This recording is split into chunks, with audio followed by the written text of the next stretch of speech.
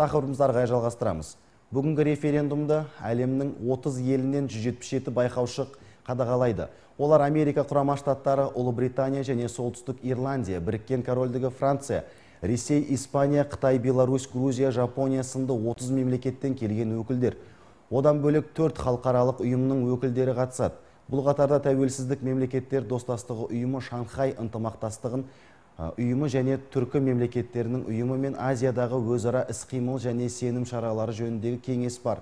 Сондай ақ референдумда 37 мемлекеттен 200 шетелдік журналист хабары тартады.